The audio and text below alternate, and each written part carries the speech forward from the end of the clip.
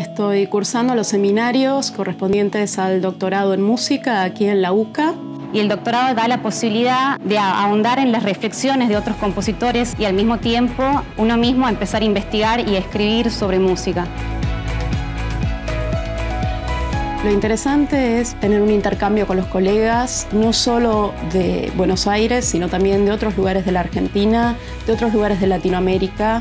Tú puedes viajar y tomar los seminarios de manera intensiva durante una semana y regresar a tu país de origen.